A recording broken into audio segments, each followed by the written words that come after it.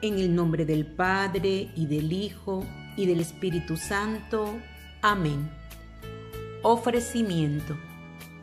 Con la convicción de obtener indulgencia plenaria, ofrecemos esta oración a la poderosa intercesión de San José, por el Papa Francisco, por su salud, sus intenciones y fortaleza espiritual, para que el mismo Jesucristo le siga guiando en su misión en la Iglesia Universal. Por todas las personas desempleadas, en especial los migrantes venezolanos, para que se empleen pronto en un trabajo digno que le permita cubrir sus necesidades. Asimismo, ofrecemos todos nuestros trabajos diarios como sacrificio de fidelidad y agradecimiento a Dios Padre por su providencia y a la protección del mismísimo San José. Oración. A ti, oh bendito José.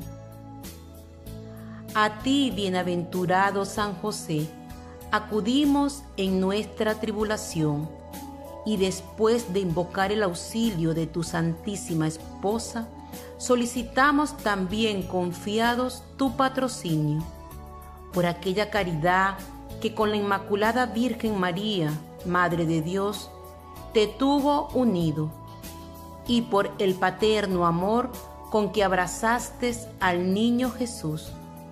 Humildemente te suplicamos, vuelvas benigno los ojos a la herencia que con su sangre adquirió Jesucristo, y con tu poder y auxilio socorras nuestras necesidades.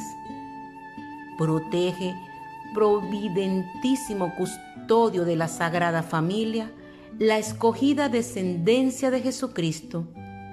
Aparta de nosotros toda mancha de error y corrupción. Asístenos propicio desde el cielo, fortísimo libertador nuestro, en esta lucha con el poder de las tinieblas. Y como en otro tiempo, librasteis al niño Jesús del inminente peligro de la vida, así ahora defiende a la Iglesia Santa de Dios de las acechanzas de sus enemigos y de toda adversidad.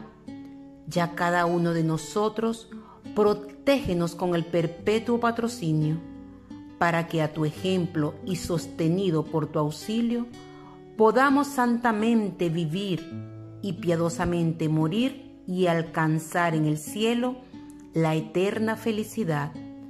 Amén.